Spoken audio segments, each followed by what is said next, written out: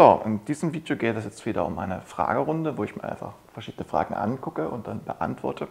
Und das ist jetzt die erste Frage, auf die ich eingehen möchte. Also, ähm, es war eine Antwort auf ein anderes Video, die Trennungsgründe angehen. Er liegt auf der Hand. Äh, was kann ich aber tun, wenn er sich weigert, sie mir zu sagen? Ich habe versucht, beim Gespräch etwas herauszufinden, lag aber mit meinen Vermutungen daneben. Mich beschäftigt es sehr, dass die Trennung für mich nach zweieinhalb Jahren total überraschend kam. Ich fühle mich gefallen gelassen wie eine heiße Kartoffel. Keine Gesprächsbereitschaft, obwohl ich von ihm über zwei Jahre auf Händen getragen wurde. Okay. Er hatte ein paar Monate vor der Trennung immer häufiger Streit angefangen und an Tag X war es dann eskaliert. Eine andere Frau gibt es nicht. Ähm, also das Erste, was du verstehen musst, ist, dass, ähm, naja, also was, was ich hier vermute, was hier vorgefallen ist, ist, ähm, dass du Verhaltensweisen wahrscheinlich hattest, weil so ein Szenario kommt eben bei dem, was ich jetzt gleich sagen werde, relativ häufig so vor, du dir dieser Verhaltensweisen aber vielleicht nicht zu 100% bewusst bist oder er es nie klar genug kommuniziert hast und du in diesen Verhaltensweisen für ihn vielleicht einfach toxisch warst oder nicht gut warst, ob nun willentlich oder unwillentlich, ähm, stelle ich jetzt in Frage. Das ist natürlich nur eine These von meiner Seite, ich kann jetzt nicht alles wissen, aber es sieht sehr nach so einer klassischen Situation aus. Das heißt, du hast ihn vielleicht oft kritisiert ja, und das hat er nicht gemocht, er hat es aber immer runtergeschluckt, hat es nicht richtig rausgelassen. Äh, irgendwann hat er sich dann gewehrt und dann fing auch diese Streits an und hat gesagt, okay, jetzt äh, hat er sich vorher sozusagen schon losgelöst und dann ist er einfach rausgegangen aus der Beziehung. Ähm, oder er hat, äh, du hast vielleicht, ähm, keine Ahnung, äh, wurden vielleicht Machtspielchen gespielt oder so, so, so, Kleinigkeiten einfach im Laufe der Beziehung, die für ihn toxisch waren, wo du vielleicht irgendwas auch in ihm getriggert hast, äh, was dann eben dazu geführt hat, dass er dann der Meinung war, sich aus dieser ganzen äh, Beziehungssache herauszuziehen. Das kann dann urplötzlich kommen, weil es so schleichend passiert und man ist selber sich auch nicht dessen bewusst, warum das so ist und woran das liegt, ähm, weil es einem auch nicht klar genug kommuniziert wird. Vielleicht wurde es auch irgendwo in Kleinigkeiten mal kommuniziert, aber nicht so, dass du es erfassen konntest, wie es ihn äh, beispielsweise jetzt verletzt hat. Das kann so, so, eine, so, ein Hintergrund sein, dass eben das dann so geführt hat. Dann hat er sich halt aus der Beziehung schon vorher entliebt, bewusst entliebt. Äh, dann fing auch diese Streits an, wo er halt wirklich dann angefangen hat, Konter zu zeigen und dann hat er sich aus der Beziehung rausgezogen und hat sie dann beendet und du stehst da und weißt halt, was ist denn jetzt los? Das verstehe ich überhaupt nicht. Ähm, was für dich erstmal wichtig ist zu verstehen im ersten Schritt, wenn du toxische Verhaltensweisen eben hattest, mal wirklich ehrlich zu sein und zu reflektieren, da reinzugehen, weil wenn dort die Veränderung passiert, hast du auch die höchste Chance auf Erfolg. Ja? Ähm, das heißt, guck dir an, habe ich ihn vielleicht irgendwo an bestimmten Punkten zu viel kritisiert? Ähm, bin ich ihn dort übergangen einfach, habe zu wenig Space gelassen?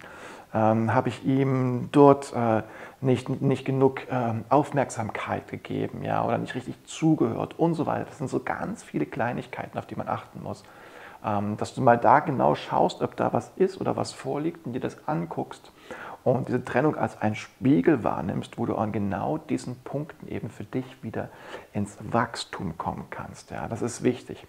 Und ansonsten gilt das Prinzip eben einen reduzierten Kontakt aufzubauen. Kontakt kann kommen, aber nur wenn er sozusagen die Initiative ergreift, ob er hinterher rennt von deiner Seite, ist absolut verboten, weil das bringt einfach gar nichts. Und ähm, dass du gleichzeitig, während du das tust, äh, ins Wachstum gehst, in die Weiterentwicklung gehst, dir wirklich das anschaust. Und die Trennungsursachen muss er dir nicht sagen. Ähm, du musst da einfach nur in deine Intuition reinhören, ganz tief reinhören. Und dann wirst du da sehr viel schon für dich selbst entdecken. Und ich kann mir hier sehr gut vorstellen, dass in viele Verhaltensweisen an dir vielleicht einfach nicht gepasst haben, weil eine neue ist ja auch nicht im Spiel, wie du sagst. Er das aber nie richtig kommuniziert hat, weil er einfach Angst davor hatte, das zu kommunizieren, beziehungsweise er vielleicht viel in sich reinfrisst, er vielleicht auf diese Weise äh, damit umgeht. Und dann ist er irgendwann in diesen Konfrontationsmodus gegangen, in diesen Reibungsmodus, ich hole mich da jetzt raus, ziehe mich raus, ich zeige jetzt Konter. Und das war auch schon der Moment, wo er sich schon sehr viel von dir befreit hatte und deswegen das auch konnte, weil schon die Unabhängigkeit stärker war. Und irgendwann kam der Moment, okay, jetzt ziehst du durch, jetzt mache ich es und dann ist er einfach abgetaucht. Und deswegen brauchst du hier einen reduzierten Kontakt, aber gleichzeitig musst du in die Weiterentwicklung gehen. Ja? Äh, Weiterentwicklung heißt, dass du dir diese toxischen Seiten eben anguckst, die du vielleicht irgendwo hast. Wir haben die alle, da kann sich kein Mensch auf der Welt rausnehmen. Ja? Der eine mehr, der andere weniger. Und das dir anschaust, in, in, in die Heilung bringst, in die Veränderung bringst. Und ähm, dann besteht eben auch die Möglichkeit, wenn er Kontakt aufnimmt, dass Kontakt wieder entsteht. Ja. Wenn du in eine Weiterentwicklung gehst, ja, es gibt Möglichkeiten, dass das ähm, bekannt zu machen, ja, ihm das zu zeigen, so, dann hast du natürlich da die, die, die, die besten Chancen. So. Und sobald das dann halt passiert ist und es kommt wieder zu Kontakt zwischen euch und er merkt halt, dass sich viel verändert hat und du wirklich viel an dir gearbeitet hast, und an diesen Sachen gearbeitet hast, die ich vermute, ja, das ist nur eine Vermutung, äh, hast du eben auch bessere Chancen. Ansonsten gilt für dich, dass er sich aber auch toxisch dir gegenüber verhalten hat, indem er einfach wortlos geht. Das ist auch eine Sache, die man nicht machen kann, die man eigentlich auch nicht macht. Das klingt nämlich auch schon wieder ein bisschen Richtung Silent Treatment. So, vielleicht habt ihr da beide irgendwie sich bedingende Anteile. In diesem Szenario musst du auch wissen für dich, dass du dich grundsätzlich für so ein Verhalten schützen musst ich würde eigentlich sagen direkt Kontaktsperre, aber ich bin mir nicht sicher, ob du vielleicht auch, ohne es zu wissen, da eben toxische Seiten hattest und äh, dadurch diese Dynamik entstanden ist, weil dann ist eine reduzierte Kontaktsperre wieder viel, viel besser und sinnvoller. Ähm, aber ansonsten wäre halt eine Kontaktsperre sinnvoll, weil du dich vor diesem Verhalten schützen musst. Behalte deswegen im Hinterkopf, dass von seiner Seite ähm, dieses Verhalten, was dahinter steht, einfach rauszugehen, so wortlos, auch Veränderung braucht, ja, wo, wo du auch so ein bisschen das mit ansticheln kannst, falls es später wieder zu Kontakt kommt, wenn du dieser Guide, die ich dir jetzt ganz verallgemeinert mitgegeben habe, eben folgst. Also, genau, das ist das, was ich jetzt zu sagen kann. Und äh, da kommen wir direkt zur nächsten Frage. Ähm, das mit der Weiterentwicklung weiß ich, aber wie kann ich ihm das denn zeigen? Direkt treffen ist wohl schwierig, wenn man in verschiedenen Städten wohnt, keine genaue Adresse hat und man selber nicht einfach rumreisen kann, wenn man alleinerziehend ist. Blockiert bin ich schon, war ich schon ein paar Mal. Diesmal ist das längste seit Mitte November. Okay. Er hält mich für bedürftige Frau, für eine bedürftige Frau, die ihn in eine Beziehung zwingen will. Dabei wollte ich nur, dass er sich Zeit zum richtigen Kennenlernen nimmt. Okay.